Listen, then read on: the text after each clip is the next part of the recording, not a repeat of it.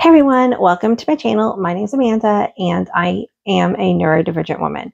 I am autistic, I have ADHD, I have aphantasia and a memory disorder called SDAM, which stands for Severely Deficient Autobiographical Memory. And I have videos on all of these subjects. I'm really excited to make today's video because my comment sections of several of my videos have been blowing up and I just really love hearing from y'all, hearing y'all's opinions and thoughts and adding to the conversation. And it's just been amazing. And I've been trying to get to as many of the comments as I can. And I read through all of them, but I have been getting so many more than I've ever gotten before that I just haven't had time to actually respond to all of them. It is interesting too because some of them um, a lot of times in text, autistic people don't understand sarcasm, or sometimes we're not even sure if we're being made fun of. So some of the comments I've just skipped over because I'm like, is this person being genuine? Are they trying to be sarcastic? Are they being mean to me? Um, and that is an actual problem that many autistic people face. And usually I will just ignore these kinds of things in real life and online. Um, but on a couple of them, I have gone ahead and inquired and have found out that, um, for instance, like one of them that I thought was sarcasm, the person was like, no, no, no, it was a genuine question. And we had a lovely dialogue back and forth in the, uh, the comment section. Um, so that's great. Um, one thing that a lot of autistic communities and spaces are using our tone tags. So, you know, adding a backslash GEN for genuine means that, or P, backslash POS means this is a positive comment.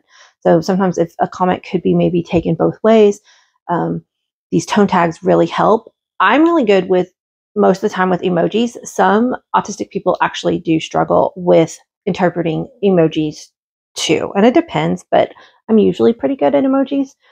Um, and that goes to the different degree at which various autistic people understand facial expressions. Because I'm a high masking autistic person, I have learned how to interpret facial expressions for the most part. And it depends on how masked I am, whether or not I do face expressions. There's a lot of times when I'm editing back a video and I will say something like, I'm so excited. And I add that, I'm adding that tone, excited, uh, because that's again masked. I know that I'm supposed to, but I will sometimes forget to change my face to actually show that excitement too, because it's not natural. That is masking. A lot of autistic people have a flat affect and we forget to we actually have to physically think to change our faces and like now that doesn't mean that I won't sometimes naturally spontaneously smile. But I can also be very very excited about something and have a flat affect. It just depends on how stimulated I am overstimulated. Um, autism is not a static condition so many things can change from day to day. And you'll see that as you watch through any of my videos, um, depending on the topic and how regulated I am will depend on the speed of my speech and the tone of my voice and uh, facial expressions. Okay, but today's video, um, the whole point of this vlog is to really just highlight the autistic experience from a late diagnosed autistic woman in real time with as I try to do as little editing as possible because I want to show other autistic people that you are not alone and I want to show allistic, which is non-autistic people, um, maybe some insights into an autistic mind, which is very much what this video is about. So um, I got the question on TikTok the other day can you please explain some of the social constructs that um, autistic people struggle with? And so I answered that TikTok just kind of like off the top of my brain. uh, because I like to process out loud and it helps me. But I have kind of thought of some that question a little bit deeper, and I want to kind of delve into it. Um, so some of the social constructs, I'm going to start off easy with like beauty standards. Um, a lot of the beauty standards that we have today are just kind of a social agreement, and you can be shunned if you do not follow that social agreement, such as shaving your legs. So, a lot of autistic people don't want to shave their legs, but if they don't, then they might get teased or made fun of. Um, I have noticed that it has become a trend more that more people that are not autistic are starting to not shave their legs, and I think that's pretty cool. I actually do shave my legs because, again, I was late diagnosed and I was very much always trying to blend into my peers. And so when my peers started shaving their legs, I started to. And now I'm used to that feeling of having smooth legs. But my kids, my teens, um, when they were kind of the age that it was you know, if you want to start shaving your legs, they were like, um, no, that makes no sense. I like my body how it is. I don't want to. And it's like, okay, cool, no problem. Um, there are some other issues that, you know, autistic people do a lot of times struggle with hygiene because of sensory issues. Things like washing our faces can be very hard. I hate water splashed on my face. So it's a real struggle. Um, but, you know, I also don't want huge acne breakouts. So when hygiene equals health conditions or health problems, I think it is important. If it's just a personal preference and it does not affect your health, then that is just a social construct and it's like, why bother? deodorant falls into this category too. Um, I like deodorant, my kids don't. That can be a struggle because um, when some social constructs happen because we have to live together in small spaces. And when somebody else doesn't want to have body odor around, it becomes a conversation. okay, so let's go into like a little bit um, bigger, I guess, social construct, and that would be uh, country borders. So, country borders are a social construct. I understand how they happened and how our planet got divided up into little sections off of different governments, but it makes no sense to me as an autistic person why I need a lot of legal documentation to visit another part of the planet that I belong to. Like, if I wanted to go visit Thailand because or like South Korea. I love Asian cuisine and culture, and I would love to just pop on a plane, you know, assuming I could afford it or whatever. Money's a whole nother social construct, but we're not going to get into that one today. Um, I, I want to be able to just like go to places on this earth and visit them without having to worry about legal documentation. It's a it's it's a complete social construct the fact that you can't just decide you want to move to another country without applying for visas and citizenships and all this other weird stuff i intellectually understand it is a thing but it's dumb to me. Um, another social construct is the public school system. Um, you know before uh, what's industrialization uh, kids were taught at home and we learned from apprenticeships and learned from our communities and things like that.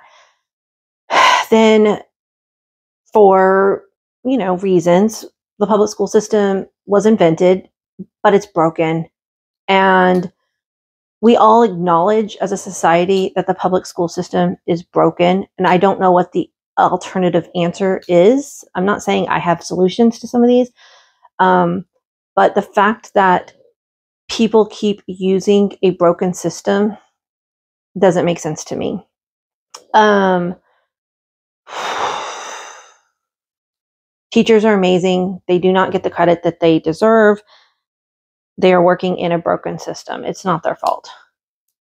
And the pandemic showed that if drastic changes need to happen quickly, they can. And yet, we still failed our teachers and our kids during the pandemic with the public school system. Okay, so hear me out.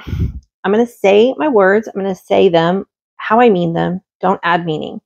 Um, I am a very inclusive, LGBTQ friendly person. Gender is a construct. Um,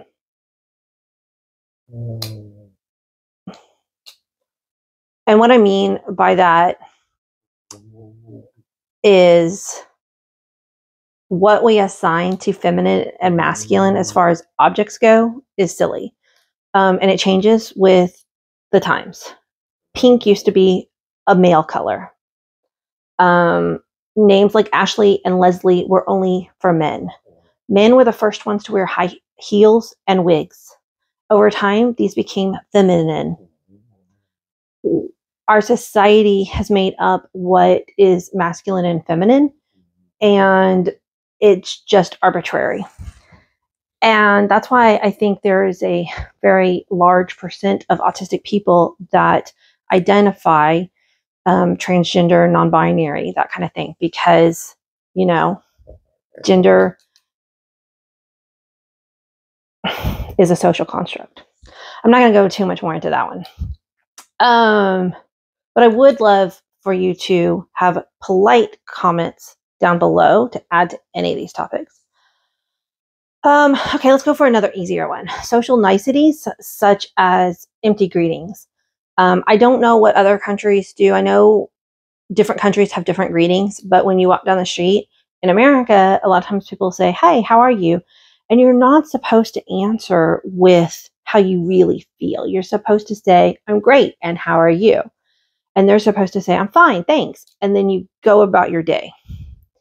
It makes no sense to most autistic people. Like this whole um, interaction doesn't make sense at the cash register when you're paying. Hi, how are you?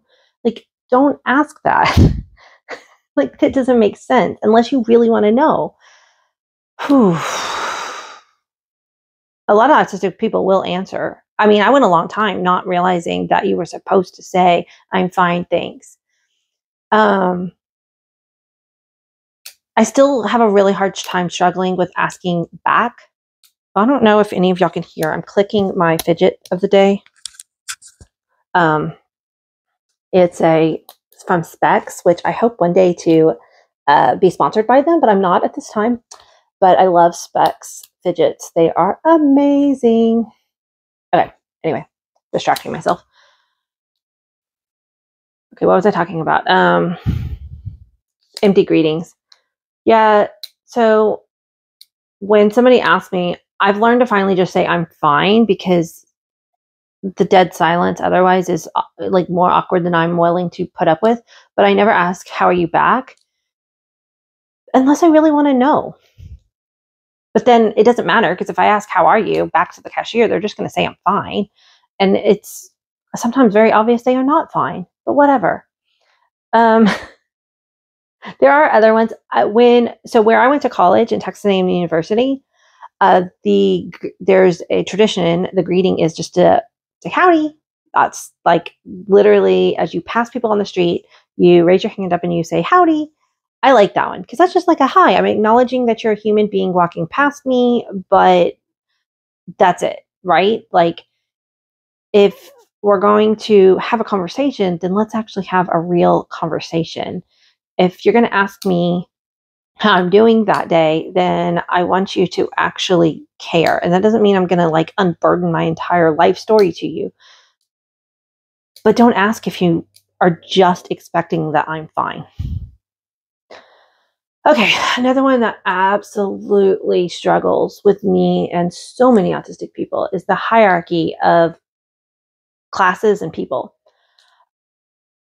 To most autistic people, we really struggle with understanding hierarchical um, relationships. We don't think that any one person is more important than any other person.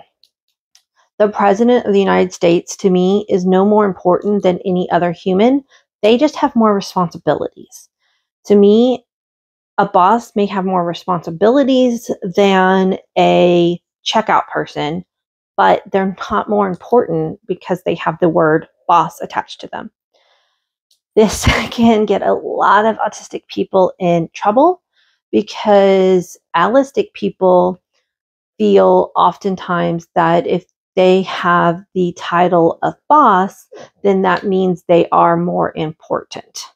And I don't believe that any one human has more importance than any other human on this earth.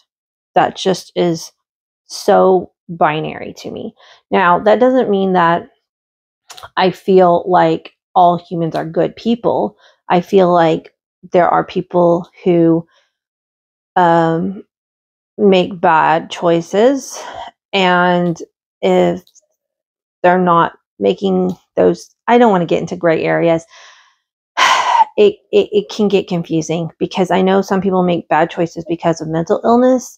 And while they need to be held accountable for those choices, I can understand where their struggle. And I feel like it's a failure on society as a whole for allowing our mental health crisis to get to a place where it is. Um, but I'm not excusing bad behaviors. That one's really complicated. Um, but I do believe that there are people who do bad things on purpose and those people really really confuse me i don't understand how to relate to somebody like an internet mm-hmm. troll or obviously a murderer or a thief like these things my brain has a really hard time comprehending why people would make choices that harm themselves or others. But beyond that, I feel like hierarchical, you know, just because someone's a boss doesn't mean they're more important. I think I've already said that, so I'm not going to repeat it again. I've got some notes today. Come on. I think he went to sleep. Okay, we'll end on a another biggie one. Okay, hear me out. Again, I'm going to try to be very clear with my words. Um, it is so easy for people who are allistic or neurotypical to put in meaning that autistic people do not say.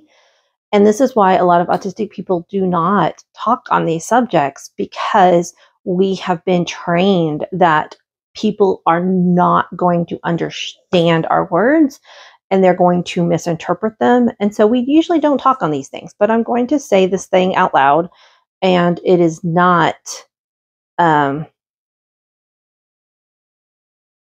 anything other than what I'm saying. Race is a social construct. Now, I'm going to follow that up very quickly that I do believe that systemic racism is a issue and it's a problem and um, people in especially in America are inherently racist because it is how our society has developed and we need to deconstruct the racist problems that are happening and work towards a more united world. But myself as an autistic person and a lot of other autistic people, we see people as humans first. We are all humans on planet Earth, and we happen to have different skin tones. Then there's a lot of social constructs that happen on top of that. That's all I mean by that, okay? I am not belittling the fact that racism does not does exist. Racism absolutely exists. So please do not misconstrue my words. And um, I hear people say you cannot be colorblind. And I understand that because when people say things like, oh, I don't see you as a different color than me, for one thing, that's stupid and it's a lie because our skin tones don't all match. Like, that's beautiful and it's it's a lie to say that we're the same color when we're not. but again, with the hierarchy thing, I'm not going to base somebody's worth on their skin tone. To me, no matter what skin tone you have, you are still a valuable human, important human being. I'm going to judge you on how you respect yourself and others and the planet. Is nothing to do with skin tone. And I understand systemic racism and that being brought up in the society that I'm brought up into, inherently, I'm going to be racist. And I'm learning to unpack and understand where that may have affected me. And like I've said many times on this vlog, I'm learning out loud. I am learning about autism and ADHD and aphantasia and my memory disorder and other disabilities so I can be a disability advocate. I am also learning about the Black Lives Matter movement and transgender movement and the harm that's being happened to our transgender families. I am not above learning more things. Race is still a social construct. and I and I mean that in the most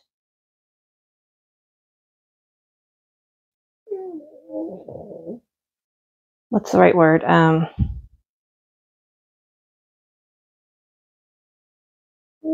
academic of ways.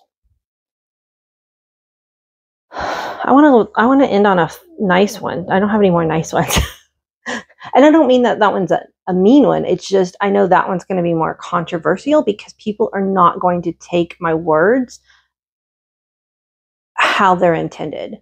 Um, and and again, that's why so many autistic people um, stay masked. We don't. These are the words you don't say out loud.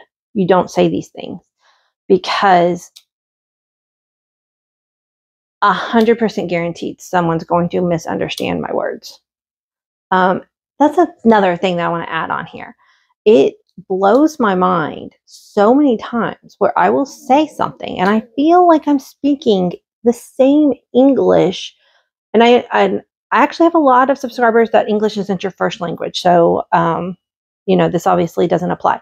But for people that English is their first language and I'm speaking the same language as you, and I have a certain meaning in my head, and this goes for a lot of autistic people, we say one thing and then we get back a different response and we're like, that's not what I said. I literally said this. And then when you go into it further with them, you, they will actually finally admit that they, when you say something, one thing, they are adding in all of this extra meaning behind the scenes that we're not even aware that's happening. So it happens over and over and over again. Um,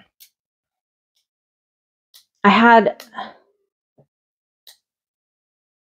oh gosh, I had a really good example. I can't remember it. There was another one a couple months ago.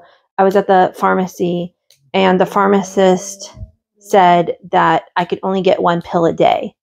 And I said, Does that mean I have to come to the pharmacy every day? Those were the words I said. Does that mean I have to come to the pharmacy every day? Like, I thought they were going to administer one pill a day.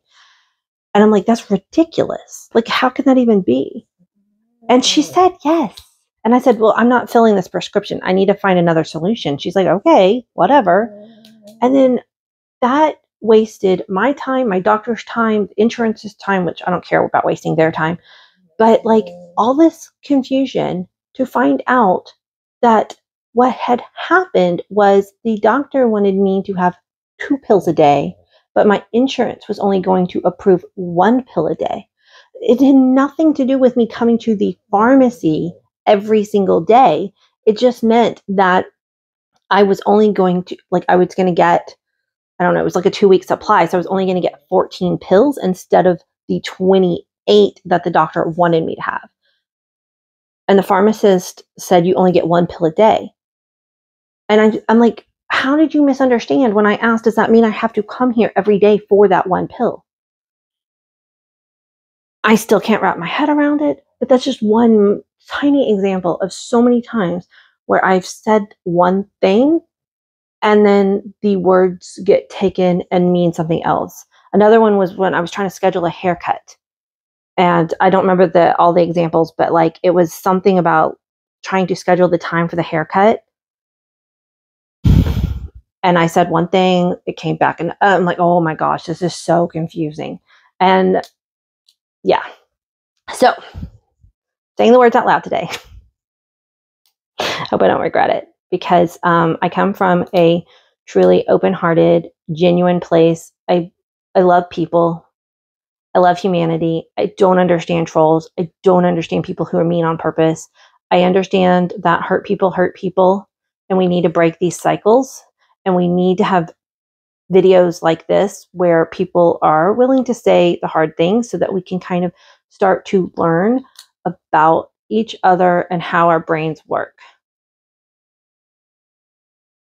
Thank you for watching, and I will see you on another video.